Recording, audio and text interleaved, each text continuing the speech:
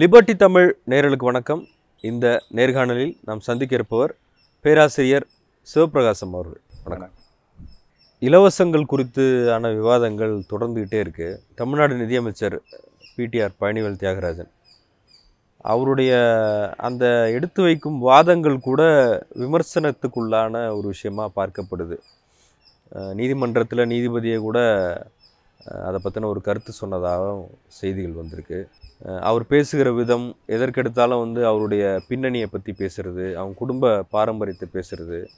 அதே சமயம் வந்து நீங்கள் படிச்சிருக்கீங்களா? நீங்கள் நோபல் பிரைஸ் வாங்கியிருக்கலான்ற கேள்வியை கேட்குறது அது சரியானதாக இருக்கும்னு நீங்கள் நினைக்கிறீங்களா? எனக்கு வந்து பிடிஆர் பேசுதல் நூற்றுக்கு ஆயிரம் மடங்கு உடன்பாடு உண்டு. எப்படின்னா இப்போ என்ன ஆயிடுச்சுன்னா தடி எடுத்தவங்களாம் தண்டல்காரன்னு சொல்லி எதை பற்றியுமே படிக்காமல் என்ன நினச்சின்னு தெரியாமல் எதிரி பேசுகிறதுல குறைபாடு கண்டு பேசுகின்ற ஒரு குருட்டு கும்பல் இன்றைக்கி த- இந்தியா ஃபுல்லாக இருக்குது உலகம் ஃபுல்லாக இருக்குது இவர் கேட்டதில் நியாயம் இருக்குங்க. அவர் வந்து நீண்ட நெடிய பாரம்பரியம் உள்ளவர். ஆரிசிங்கிறதுல படித்தவர் பிறகு இதில் லேமன் பிரதேசத்தில் ப இதில் பண்ணவர். அவர் வந்து கிட்டத்தட்ட உலகத்தில் அறுபது நாடுகள் போயிருக்கிறாரு. அப்போ எதிரே வந்து முட்டாள்தனமாக மூடத்தனமாக ஒரு எந்த விதமான தகுதி இல்லாமல் பேசுகிறது அப்படின்னுங்கிறத அவர் டாலரேட் பண்ண முடியல.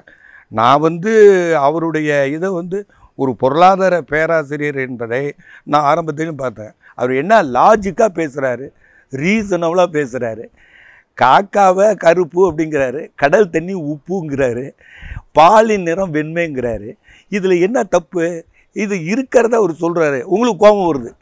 இங்கே வந்து ஒரு போலித்தனமான பொய்மையான நாகரிகத்தை வச்சுக்கிட்டு இதை பேசக்கூடாது. அவர் வந்துட்டு நீங்கள் ரொம்ப தைரியமாக பேசுகிறீங்க இல்ல என்ன கேள்வி கேட்குறவங்க எல்லாருமே படிச்சவங்களா இருக்கணும். இல்லை இல்லை இல்லை அந்த மாதிரி கிடையாது? கேள்வி வந்து ஒன்றே ஒன்று நான் சொல்கிறேன் கேளுங்க. இப்போ எதுவுமே தெரியாத ஒன்ட்ட உலகம் உருண்டைன்னு நான் சொல்கிறேன் அதை எப்படி சார் நிரூபிப்பீங்கன்னு அவனுக்கு கேட்குறது உரிமை உண்டு. கேள்வி கேட்கறதுக்கு வந்து குவாலிஃபைடாக இருக்குன்னு தேவையில்லை. கேள்வி கேட்கலாம்.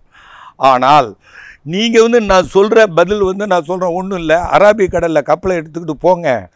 ஒரு ஆறு மாதம் கழிச்சு நாகப்பட்டினத்து வந்துடுவீங்க உலகம் உருண்டைன்னு முடிஞ்சிடுச்சு தட்டனை போயிட்டே இருக்கணும். அதனால் கலீலியோ சொன்னது சரியானது அப்படின்னு நான் சொல்கிறேன் சரி மையம் பூமி வந்து சூரியன் தான் மையத்தில் இருக்குது பூமி அதை சுற்றி வருது அப்படின்னு நான் சொல்கிறேன் இல்லை இல்லை அதெல்லாம் சொல்ல அது தப்பு அப்படின்னு சொன்னான்னு வச்சுங்க. இப்போ வந்து என்ன ஆயிடுச்சு? சூரிய குடும்பமே பல குடும்பம் வந்திருக்கு.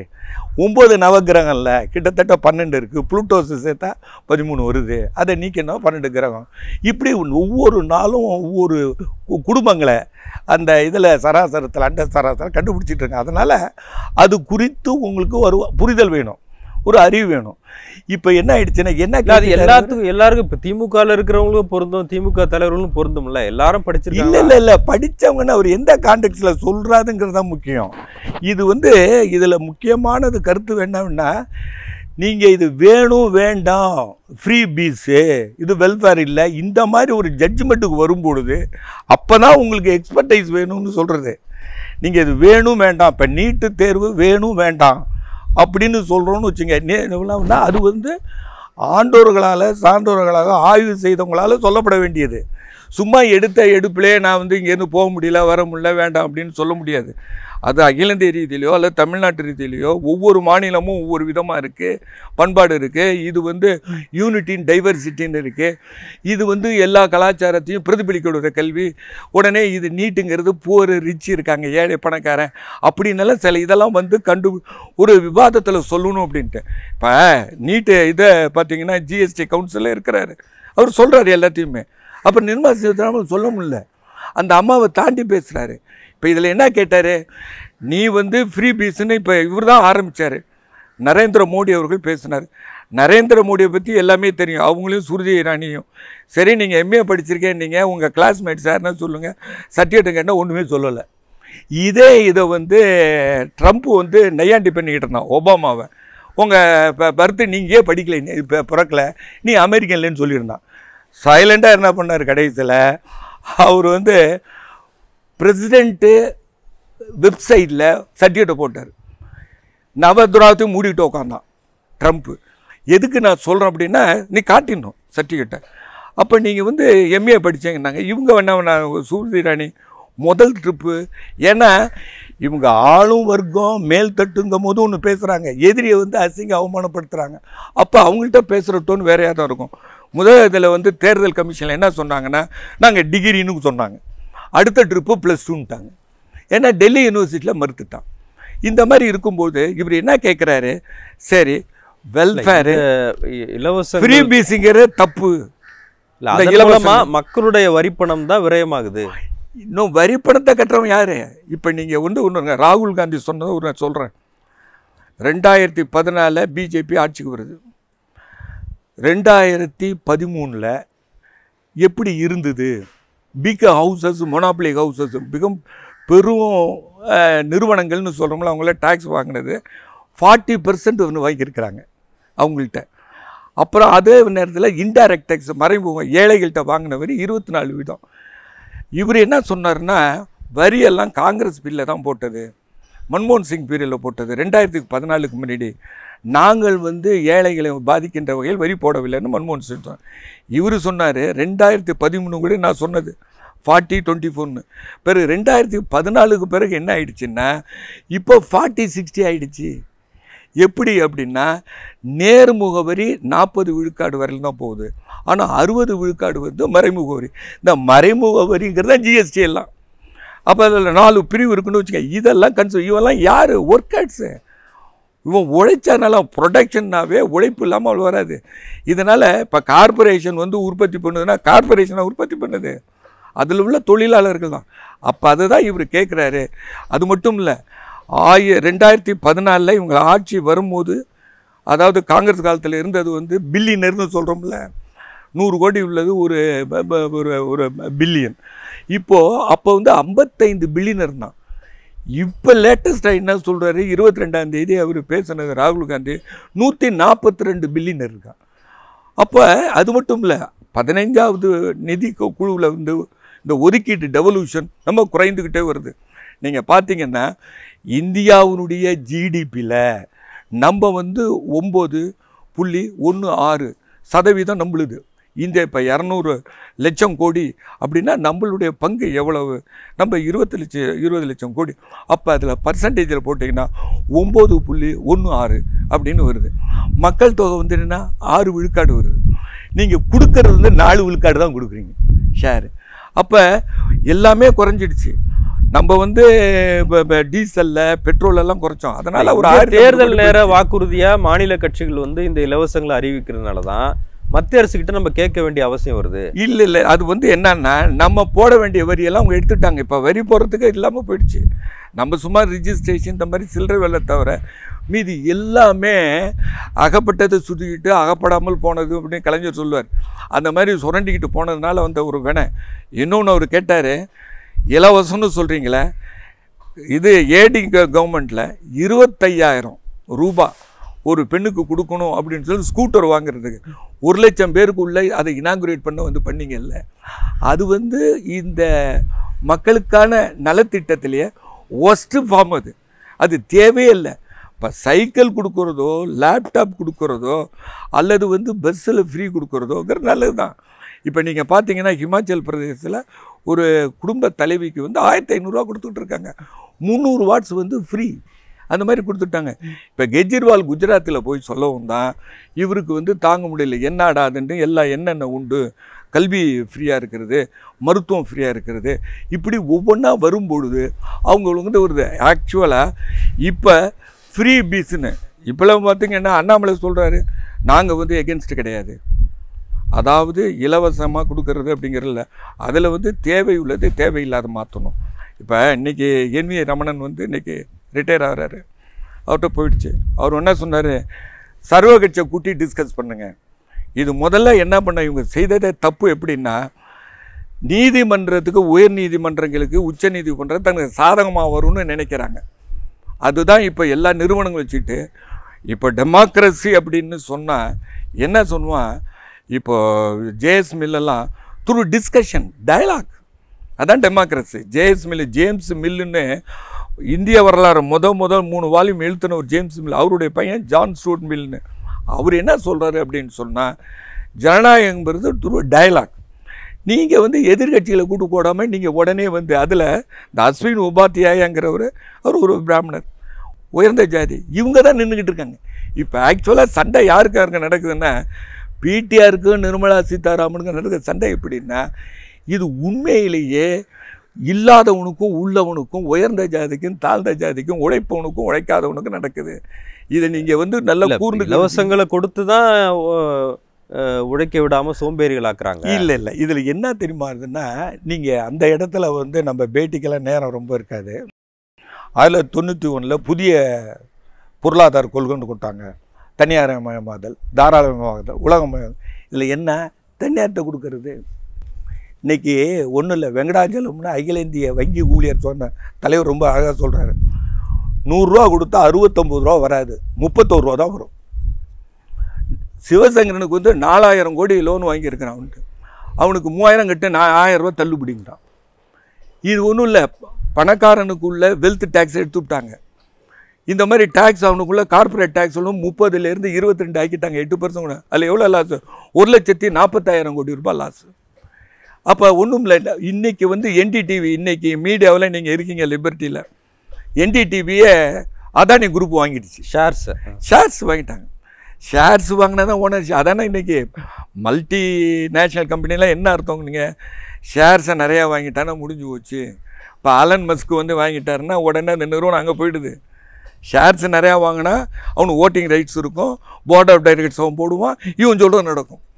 இப்போ இண்டிவிஜுவல் ஓனர்ஸுங்கிறத ஷேர் வரல அவன் தான் ஓனர் ஷேர் வாங்குறது அதனால் இருபத்தொம்போது சதவீதம் வாங்கிட்டான்னா இப்போ என்ன ஆயிடுச்சு? அவனுடைய கண்ட்ரோலில் போயிடுச்சு. கா- இது போகுது ஹார்பர் போகுது இது போகுது பெட்ரோலியம் வந்து எலக்ட்ரிசிட்டி போகுது. இதெல்லாம் நீங்கள் இலங்கையிலே தெரியலாம் அங்கே உள்ளதை வந்து இவங்க இங்கே நிலக்கரி வந்து இவன்கிட்ட வாங்குங்க அதானிட்ட வாங்குங்க. அப்போது யூனி போலராக பொருளாதாரத்தில் மொனாப்புலி பிடிஆர் வந்து ஒன்றும் கேட்கல.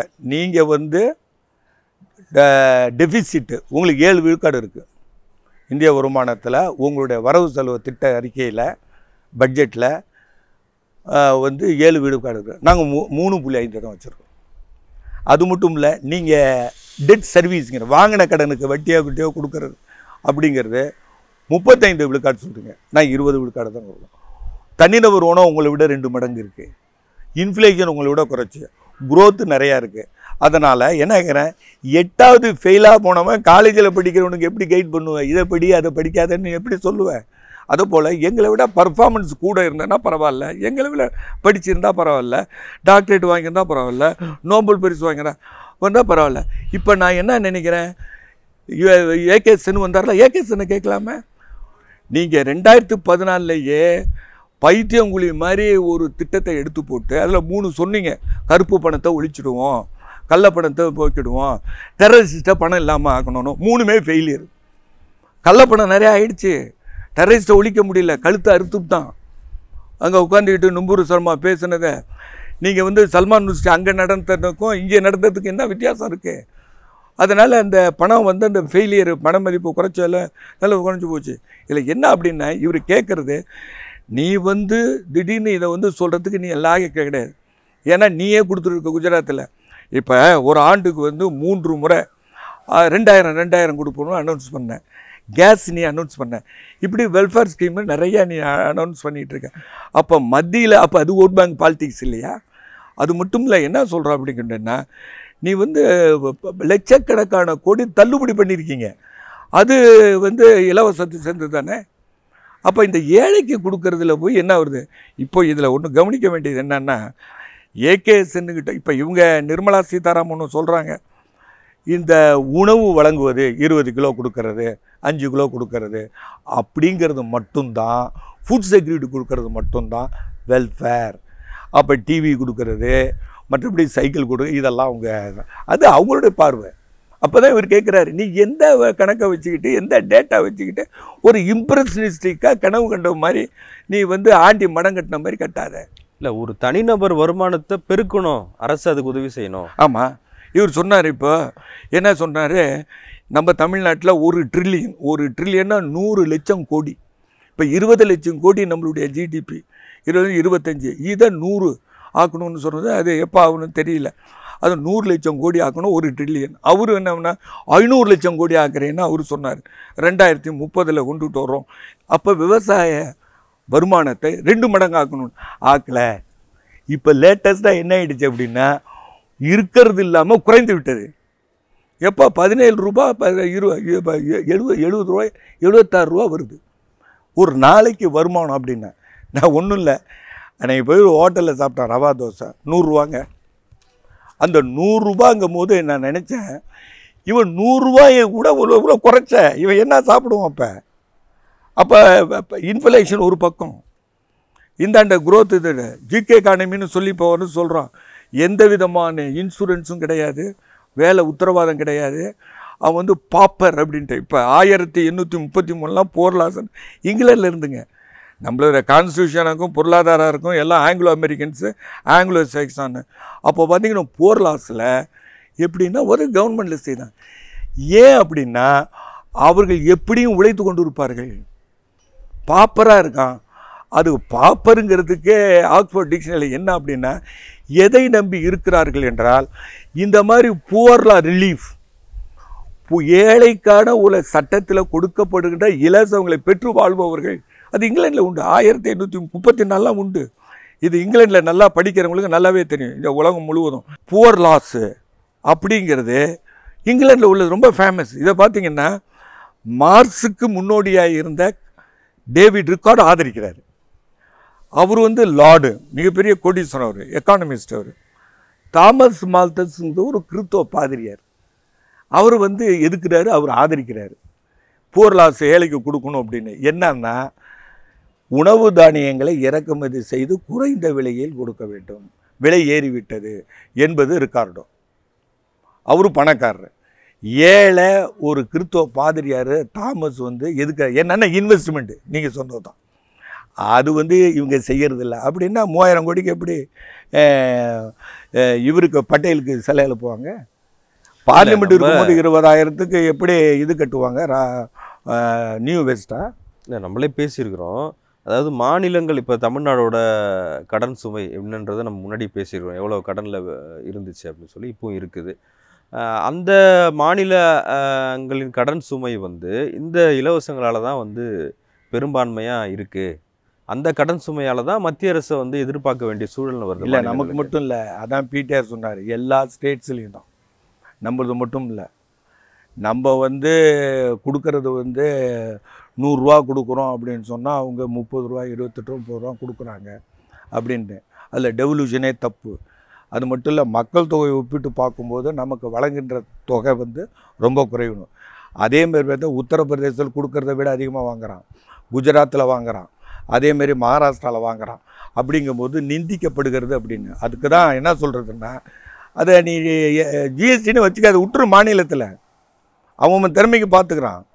நீ புதிதாக வந்தது அப்படின்னா இன்டர் ஸ்டேட்டுக்குள்ளே பிரச்சனை இருக்கக்கூடாதுன்னு கொண்டு வந்தது ஜிஎஸ்டி அது சுரண்டு கருவியாக வைத்துக்கொண்டு உன்னுடைய இஷ்டத்து ஒன்றும் இல்லை. பிரைம் மினிஸ்டர் கேர் வந்து ஆடிட் பண்ணக்கூடாதுங்கிறீங்க. ரைட் டு இன்ஃபர்மேஷன் என்ன? பூடகமாக இருக்குதே. இப்போ இவர் வந்து ஓப்பனாக இருக்கார் பிடிஆர் வந்து எஃபிஷியண்ட்டாக செய்கிறாரு வேணும்னா என்ன செய்யலாம்? இது இன்வெஸ்ட்மெண்ட் இப்போ அதுதான் ஒரு லிஸ்ட்டு ப்ரிப்பேர் பண்ண சொல்லியிருக்கிறார். ரமணன் என்ன சொல்கிறேன்னு நீங்கள் டிஸ்கஸ் பண்ணுங்கள் கான்ஸ்டியூஷனில் ப்ரொவிஷன்லேன்னு கடுமையாக சொல்லிட்டார். பிடிஆர் சொல்லிட்டார். அதில் அவருக்கு வருத்தம்னு வச்சிங்க ஏன்னு கேட்டிங்கன்னா ஒரு சுப்ரீம் கோர்ட்டுடைய சீஃப் ஜஸ்டிஸாக இருக்காருன்னு சும்மா ஒரு ரியாக்டை ஈர்க்குடுன்னு போட்டான். ஹிண்டுவில் சும்மா அவர் வந்து ஒரு சல்லப்பட்டுட்டார் அப்படிங்கிற மாதிரி தவிர அவர் வந்து எதுவுமே இல்லை கடைசியில் சொல்லிட்டார். இங்கே ப்ரொவிஷன் இல்லை. அவர் துஷார் மேத்தாலாம் பேசும்பொழுது அஸ்வினி உபாத்தியாயா பெரிய அந்த ஜாம்பவன்லாம் பணக்காரனுடைய மவுத் பீஸாக இருக்கவங்களாம் பேசுனதுக்கு அவர் சொல்லிட்டார் இங்கே ப்ரொவிஷன் கிடையாது. நீங்களாக வந்து பேசி டிஸ்கஸ் பண்ணி ஒரு லிஸ்ட்டு ப்ரிப்பேர் பண்ணுங்க. அதில் நீதிமன்றம் தலையிட முடியாது. தலைய முடியாதுன்ட்டார். ப்ரொவிஷனில் இது செய்ய அது செய்யணும் அதை மீறி செய்தாங்கன்னு உனக்கு கேட்க முடியாது. இப்போ பெரியார் வந்து கான்ஸ்டியூஷன் எரிச்சார். உடனே எந்த இதில் செக்ஷனில் போகணும்? அதுக்கப்புறம் தான் சட்டத்தை மாற்றாங்க பெரியார். அதனால் என்னென்னா தேசிய கூட எரித்தால் என்ன சட்டம்னு ஒன்றும் கிடையாது. அவர் பாட்டுக்கு ஆயிரத்தி தொள்ளாயிரத்தி ஐம்பதுலேயே என்னமோ எரிச்சு விட்டார். பெரியார். அவர் ஒன்றும் கில்லாடி இல்லை அவர். அவருக்கு தெரியும். இது மாதிரி ரெண்டு மூணு வேலை செய்தார். புள்ளாரை போட்டு உடைச்சா கூட ஒரு அதுக்கு என்ன தண்டனைன்னு இல்லை.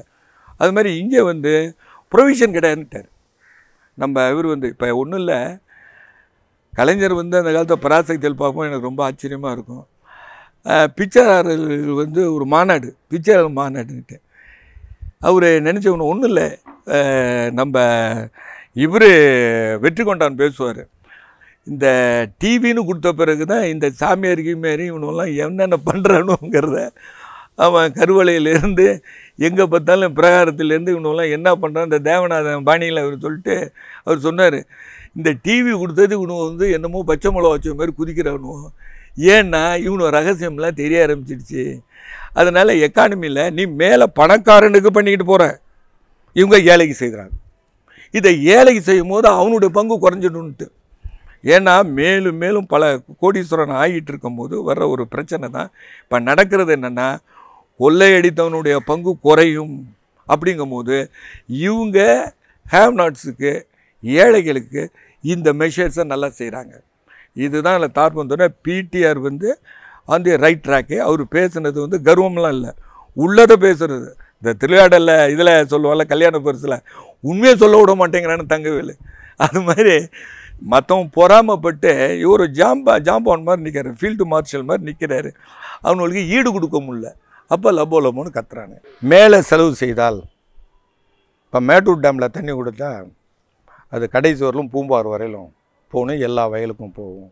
அப்படிங்கிறது தீரி இது போகாமல் கல்லணையிலே தேங்கிடுச்சு.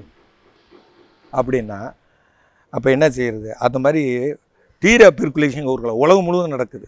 இங்கே நடக்காத காரணம்னா ஜாதி தான். இப்போ பட்டியலிய மக்கள் வந்து பஞ்சாயத்து தலைவராக உறுப்பினராகிட்டாங்க ஆனால் குடியேற்றம் இல்லையே சமூகங்கள் இல்லை.